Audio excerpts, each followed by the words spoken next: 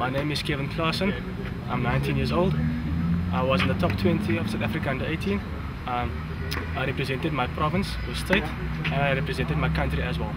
And this is my college tennis video.